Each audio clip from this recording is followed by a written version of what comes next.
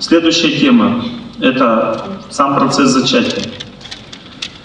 Процесс зачатия должен происходить в атмосфере счастья и глубоких отношений. Чем более глубокие отношения, тем более здоровый ребенок рождается. В целом надо знать, что в четные дни начинаются мальчики. Сейчас я уточню.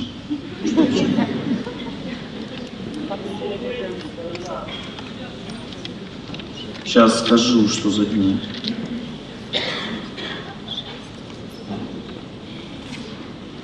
Да, в четные дни цикла. Первый день месячных – это первый день, с которым надо считать.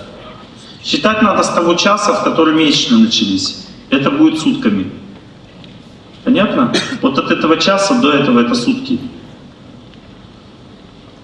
Десятые сутки, двенадцатые самые благоприятные, двенадцатый, четырнадцатый, десятый, двенадцатый, четырнадцатый день самый надежный.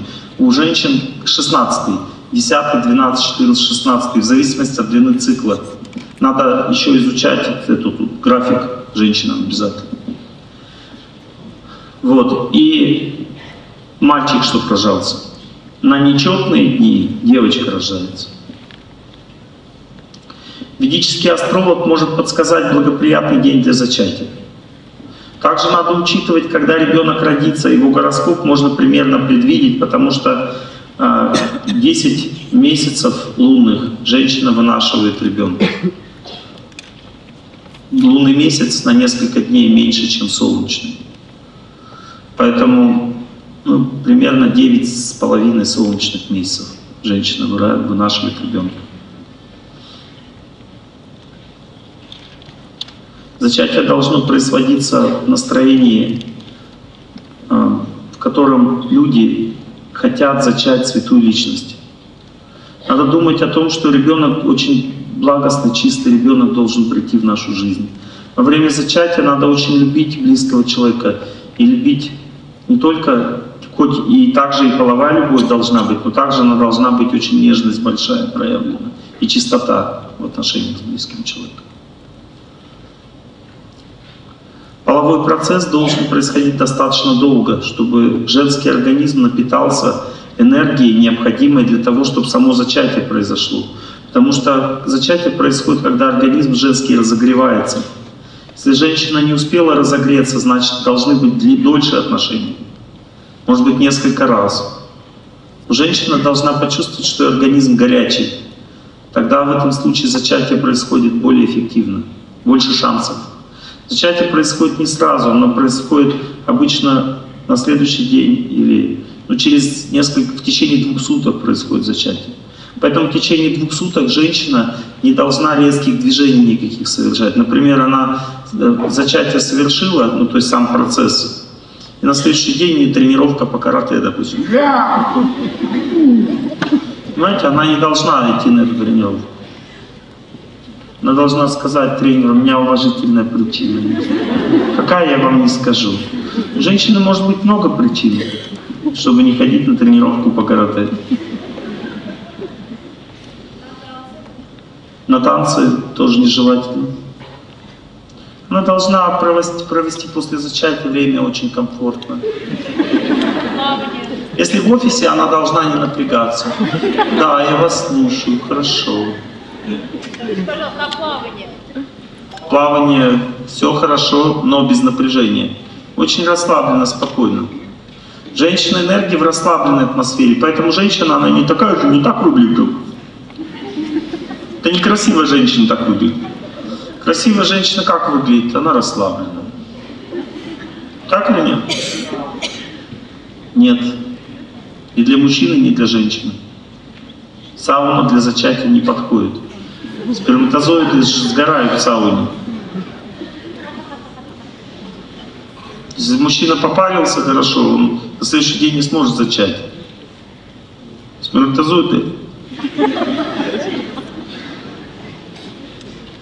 А если женщина одна, у нее нет ни мужа, ни мужчины, может ли она иметь ребенка? Может, она взять должна на воспитание ребенка. А просто вот родить на стороне там от кого-то? От кого-то родить просто. Зачем? Представляете, о чем я говорю? От кого родить? Мужчины в другой семье, что ли? В интернете сейчас много предложений от мужчин. Зачать ребенка ей, да? А жить не хочет, да? Жить не хочет с вами, а зачать хочет, да? Ну, типа. Вот так, да? Соглашайтесь. Зачинайте с ним ребенка. Потом покажете ему ребенка, он придет с вами жить.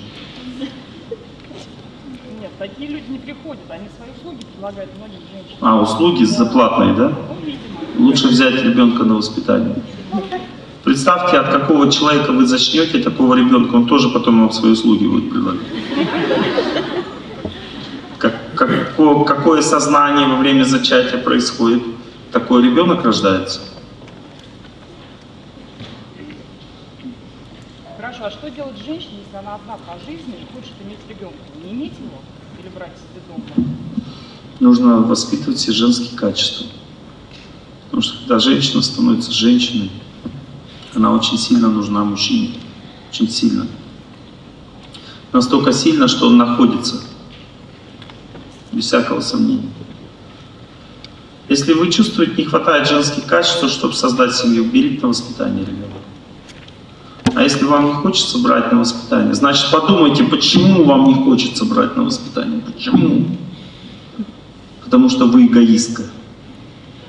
Потому что вы не хотите просто помочь тому ребенку, который уже есть. Что-то выдумываете в своей жизни. Просто возьмите сначала, который есть. Женщина не может создать семью. Что делать? Надо брать ребенка на воспитание.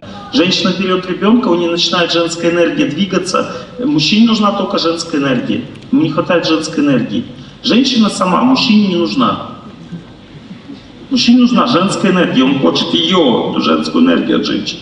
Женщина начала же двигаться женская энергия, он начинает за ней ухаживать, узнает, что есть ребенок. Взял на восп... Взяла на воспитание ребенка. Ну точно так же и он взял на воспитание, какая разница? Она взяла на воспитание, он взял на воспитание. Они равны в этом плане, нет проблем. Он не считает, что у нее чужой ребенок не от него. Это ребенок такой же чужой ему, как и ей. И такой же близкий. Разницы никакой нет. Понимаете, нет? Но так как в ней уже движется женская энергия, она привлекает мужчин, и потом она также может с ним зачать ребенка своего.